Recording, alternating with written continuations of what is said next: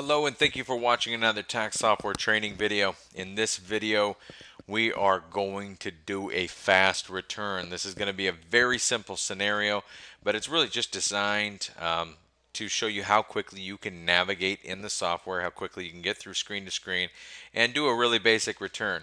I understand that there's not a lot of complexities here but we're going to navigate through and we're going to do it quickly.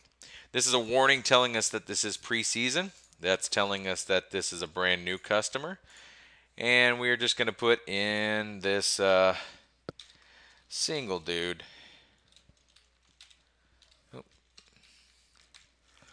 And we're going to put in his date of birth. And what does he do for a living? He's a sales guy. And where does he live? He lives on Easy Street. And we're going to put him in Florida. And phone number would appropriately be 305 area code. We're going to put two phone numbers in for the bank product. Next question is, do we have any dependents? Again, this is a simple scenario, so I'm going to say no. I'm going to enter myself. I'm going to go straight to the W-2. You can see how quickly the tax software navigates. It's not because I'm on some fancy schmancy computer. It's really just because I have a good internet connection uh, since this is a web-based software and the program's incredibly fast.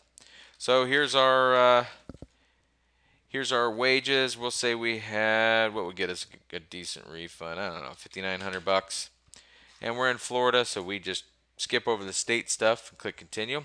See whether or not it gave us some enough money. Yep, we got a refund. Let's go to our health insurance. And we're going to answer the questions here. Did you have health insurance? Yes, I did.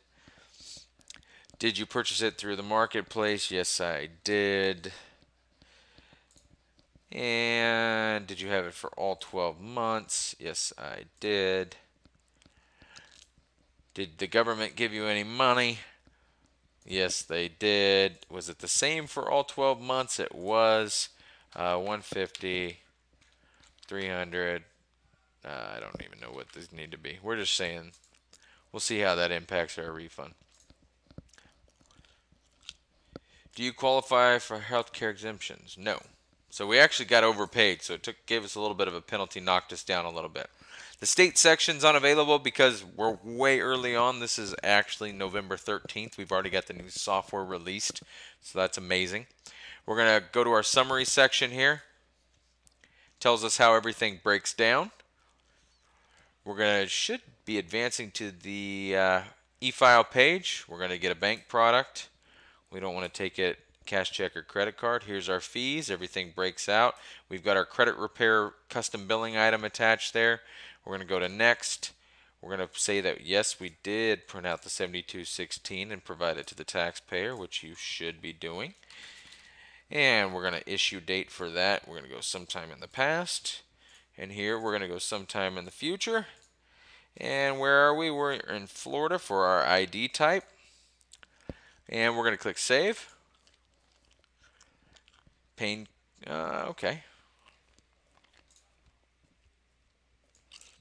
That's fine. All right. Now we're going to go ahead and have the taxpayer sign. Make a masterpiece there. We save that.